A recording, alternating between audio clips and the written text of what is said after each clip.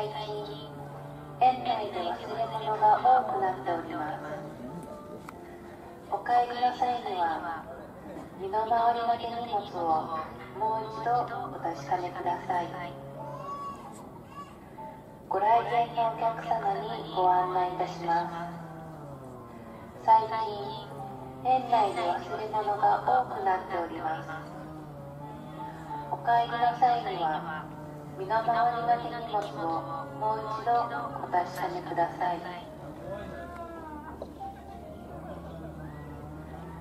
引き続きバスでお越しのお客様にご案内いたします。駐車場前バスロータリー